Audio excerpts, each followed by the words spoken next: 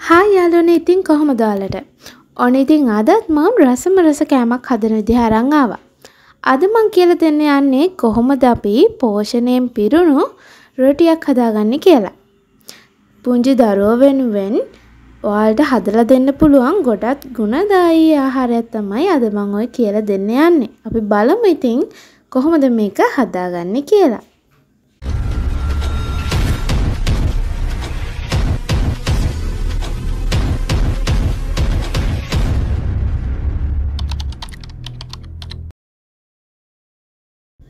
ඔන්න ඉතින් සුපුරුදු පරිදි අවශ්‍ය දේවල් ටික මං ඔයාලට කියන්නම්. මෙතනදි මං අරගෙන තියෙනවා පාන් පිටි. පාන් පිටි ග්‍රෑම් 500ක් ගත්තා. පාන් පිටි වෙනුවට ඔයාලට මෙතෙන්දි ආට පිටි, කුරහන් පිටි, බඩිරුඟු පිටි උනත් අරගන්න පුළුවන්. හාල් පිටි නම් ගන්න බෑ. මොකද අපි රොටි පුච්චද්දී හාල් පිටි වලින් හදලා තිබ්බොත් රොටි කැඩෙන්න බලන නිසා. ඊළඟට මං අරගත්තා පොල් බෑයක පොල්. මෙතන තියෙනවා පොල් ග්‍රෑම් පන්සීය. ඊළඟ මං අරගත්තා එළවලු මෙතර මං අරන් තියෙන්නේ හිනියට කපාගෙන කැරට් සහ ලීස්. ඊට අමතර මං අම්මිටිසුත් ගත්තා. චූටි දරුවනු ඉන්නවනං අම්මිරිස් දාන්න එපා.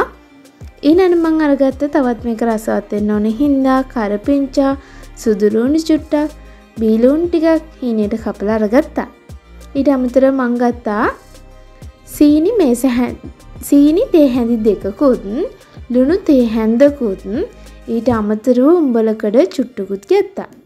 ඉරන්න මංගත්ත පොල් ඔතුර කෝප්පයක්. ඔයාලා මේ රොටියට ගාගන්න ගන්න පොල් ගෙඩීම වතුර චුට්ට ගන්න පොල් වතුර අඩු කෝප්පයක් අරගන්න. දැන් අප බලමු කොහොමද මේ ටික හදාගන්න කියලා. ඊට කලින් වෙනද වගේම සුපුරුදු පරිදි මංවාලට අවශ්‍ය ද්‍රව්‍යයන් ටික මේ විදිහට දාන්නම්.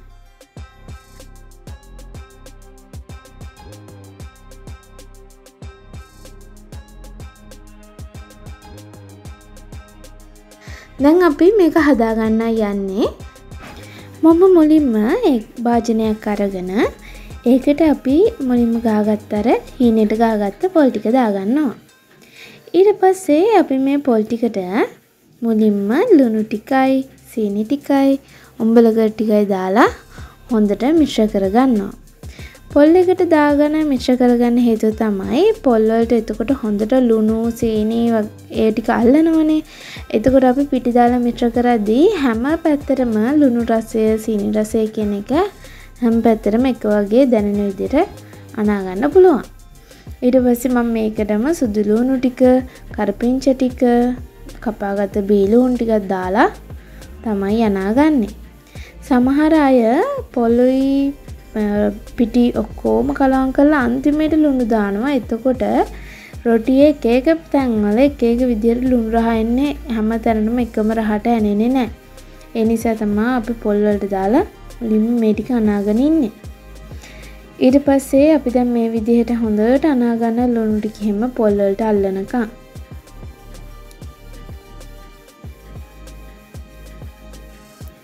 දැන් අපි මේකටම එලොල් ටිකත් එකතු කරගමු.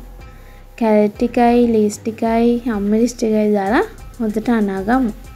ඔයාලට මේ කැරට් ලීස් වලට අමතරව තව දාගන්න පුළුවන් කංකුන් දාන්න පුළුවන්. ඊට අමතරව ඔයාලා කැමති නම් බීලුණු වැඩිපුර දාගන්න පුළුවන්. එතකොට ලුණු රසෙත් වැඩි. සමහර අය ගොටු කළත් දානවා. එක එක දේවල් මේකට එකතු කරගන්න පුළුවන්. ඒ ඔයාලා තියෙන එලෝලි ජාති ඕන දෙයක් එකතු කරගන්න. බෝංචි වුණත් හීනියට කපලා රවුමට පෙති පෙති කපලා මේකට එකතු කරගන්න පුළුවන්. ගෝව කොලයක් එහෙම දාගන්න. ඒ වගේ වැඩිපුර එලෝලු එකතු වෙන තරමටම මේ රොටිය ගොඩාක්ම රසවත්. ඒ වගේම පෝෂදායි ඊට පස්සේ ඔන්න අපි දැන් ඔක්කොම කලවම් කරගත්තට පස්සේ පාම් පිටි ටික එකතු කරගන්නවා. දැන් අපි පාම් පිටි ටිකත් එකතු කරලා හොඳට අනාගන්න ඕනේ. ඔයාලා දැම්ම වතුර දාගෙන අනන්න යන්න එපා. මුලින්ම ඔක්කොම ටික හොඳට කලවම් කරන් ඉන්න. මොකද පොල්වල තියෙන තෙත ගතියත් එක්ක අපිට ඒ තරම් වතුර ප්‍රමාණයක් අවශ්‍ය වෙන්නේ නැහැ. ඒ නිසා හොඳට කලවම් කරගන්න. මොකද පොල්වල වතුරත් එක්ක මේ පිටි කලවම් වෙද්දී සමහර වෙලාවට ඔයාලා ගන්න පොල්වල හැටියට පොල් ගෙඩිය හැටියට මේකට වතුර අවශ්‍ය වෙන්නෙම නැති තරම්. ඒ තරමටම වතුර තිබ්බොත් එහෙම අවශ්‍ය වෙන්නේ නැහැ. ඉතින් අප මේ විදිහට අනාගන්නවා අනලා ඊට පස්සේ ටික ටික පොල් වතුර ටික එකතු කරන ගමන් අනුමු. එක පාර පොල් වතුර ටික දාගන්න යන එපා පොඩ්ඩ පොඩ්ඩ පොල් වතුර දානන්න මොකද වතුර වැඩි වුණොත් එහෙම මේක ගොඩාක් රසවත් වෙන්නේ එතකොට තවත් අපිට පිටි එකතු කරන්න වෙනවනේ. එතකොට අර තියෙන එළවලු වල රහ එන්නේ නැහැ. ඒ නිසා ටික ටික වතුර එකතු කර කර මේක අනා ගන්න.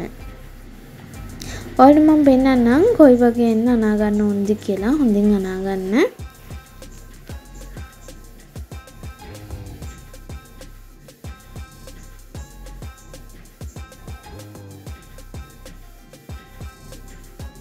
මෙන මේ වගේ වෙන්න අනාගන්න ඊට පස්සේ පොල්තෙල් ටිකක් දාගන්න මේ පිටියකට හොඳට පොල්තෙල් මේස හැන්දක් විතර දාගන්න දාලා අනන්න ඔයාලට තෙල් වෙනුවට මාගරින් හෝ බටර් එකතු කරගන්න පුළුවන්. එතකොට තවත් රසවත් ඊට අමතර ඔයාලට පුළුවන් නම් මේකට බිත්තරයකුත් එකතු කරලා අනා ගන්න. එතකොට ගොඩාක් රසවත් වෙනවා. දැන් බලන්න මේ මෙන්න මේ වගේ අතේ නොඇලෙන ගාන්ට ඕගොල්ලො මේ කනා ගන්න ඕනි ගුලියක් වගේ. අන්නලා ඔහොම ටික වෙලාවක් තියල තියන්න. පෑ භාගයක් විතර තියලා මේ රොටී පුච්චන්න පටන් ගන්න. මොකද එහෙම කියන්නේ ලොකුවට පිපෙන්න හැ ඉස් දාල වගේ. එන්නට ටිකක් මේ පිටියක පිපෙනවා වගේම ගොඩාක් රසවත්වෙනවා මොකද අපි පොල්ලොතට දාලාන ඇල්ල තියෙන්නේ. එක නිසත් පෑ භාගයක් විතර මෙ මනලා තියල තියන්න.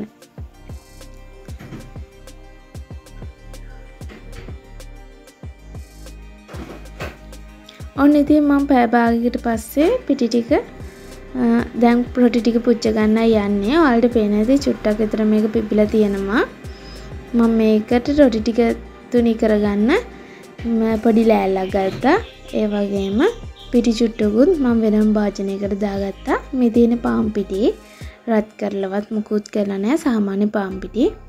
ඊට පස්සේ මම මේ පිටි ටික ලෑල්ලට චුට්ටක් දාගන්නවා. ඔයාලා ලෑල්ලට පිටි වෙනුවට තෙල් ටිකක් උනත් දාගන්න පුළුවන්. මම නම් දාගත්තේ පිටි. දාගෙන ඉවරලා පොඩි ගුලි කඩාගන්න රොටියෙන් කඩලා හොඳට තියලා රවුමට ලස්සනට තුනී කරගන්න.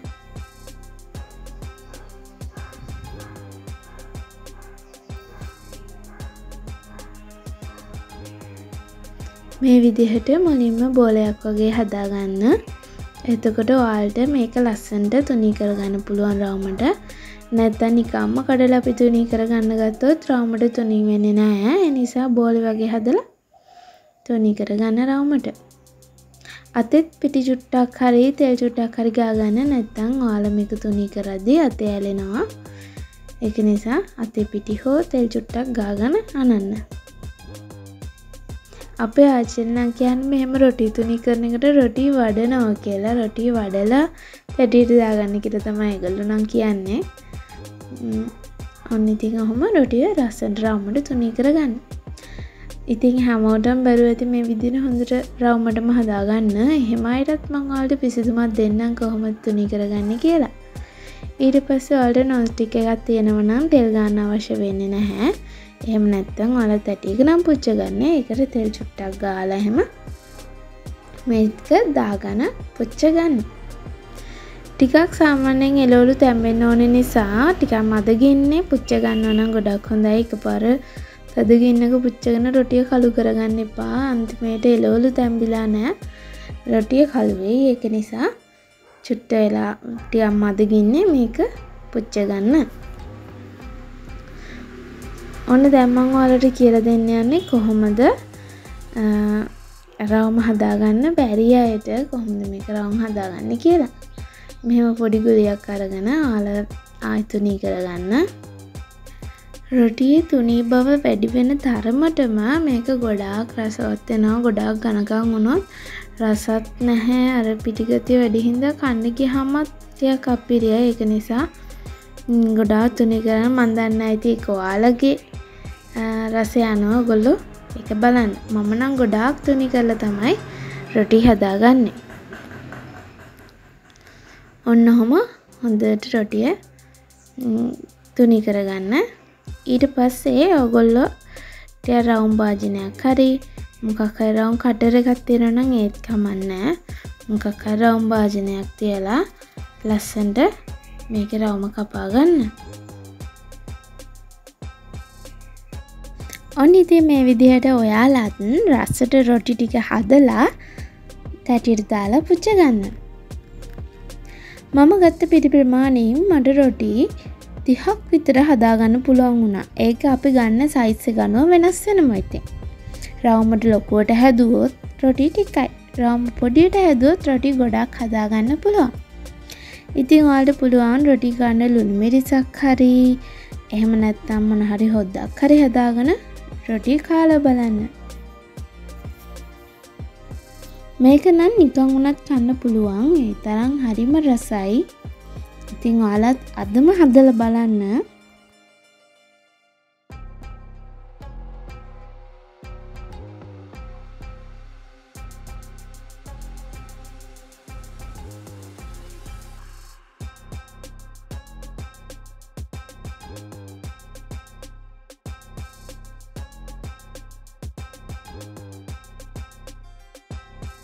ඔන්න ඉතින් අපි දැන් රොටි ටික හදාගෙන ඉවරයි. හෙනම් ඉතින් ඔයාලත් අදම ට්‍රයි කරලා බලන්න මේ විදියට රොටි හදලා කාලා බලන්න.